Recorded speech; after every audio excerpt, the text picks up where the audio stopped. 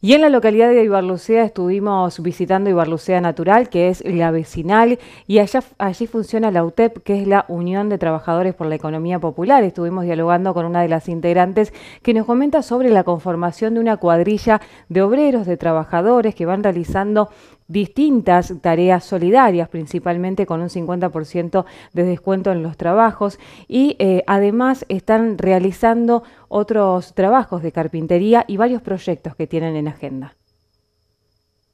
Se armó una cuadrilla, estos trabajadores de la economía popular son trabajos, trabajadores que son changarines, que no tienen trabajo formal, de eso se trata la economía popular, de todo este sector que queda fuera del mercado formal. Bueno, nosotros a nivel comunitario armamos una cuadrilla, bueno, Salimos también cuando nuestra localidad en febrero del año pasado, bueno, recibió esa pedrada, ese temporal terrible que hasta el día de hoy, eh, bueno, eh, siguen algunos techos sin arreglar. Bueno, nosotros arreglamos 14 viviendas con los materiales que nos brindó la comuna.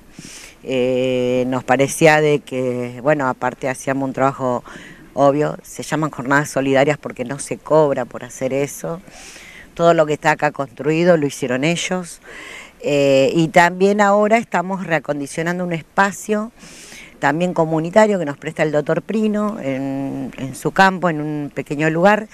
También para, tenemos un proyecto para hacer premoldeados, o sea, eh, tapiales símil madera en cemento. Bueno, ya recibimos una capacitación y bueno, la idea es primero acondicionar el lugar, porque tenemos que poner los moldes en un lugar que no llueva, que no le dé rocío.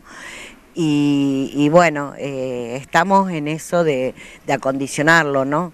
Porque bueno, acá no tenemos más, más lugar, digamos, y se necesitan llevar muchos materiales y bueno, y bueno, estamos en eso, en ese ciclo de seguir, reacondicionar el espacio para después poder hacer, y que puede salir, puede ser una salida eh, laboral más un, con plus de, lo, de estos trabajadores, ¿no? Que bueno, a nuestra... de esto se trata, digo, ¿no? Hoy estamos viviendo un momento político, no mezclar, pero digo, se trata de eso, de encontrar trabajo, cómo formar o fomentar el trabajo. Sí, se trata de eso porque la verdad que eh, estamos muy desilusionados con esta economía, ¿no? Eh, salen muy caros los alimentos, básicamente.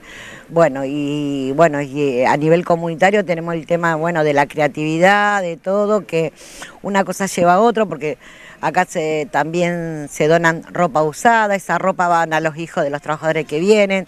Eh, o sea, todo un circuito como para un poco contener, ¿no?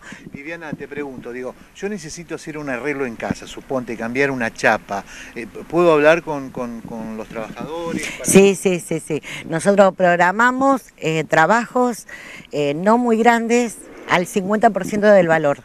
¿No? Y de, claro, y tenemos la garantía de que van a quedar bien, ¿no? Tenemos un maestro mayor de obra dirigiendo los trabajos. Así que tenemos una, toda una garantía, sí, sí, sí. Qué beneficio para el pueblo, ¿no? También. Sí, hay beneficio. Ya se hicieron varios trabajos eh, y bueno, la gente contenta, contenta y aparte, imagínate, el 50% y a ellos también le conviene y bueno, eh, estamos buscando cómo generar más ingresos, ¿no? De esos trabajadores. Eh, decía, se siguen informando, capacitando. Sí, sí. Nosotros ahora estamos esperando para activar eh, el taller de carpintería. Estamos esperando, hicimos un, proyecto que lo ganamos. Estamos esperando la firma del convenio porque no tenemos insumos, digamos, para empezar.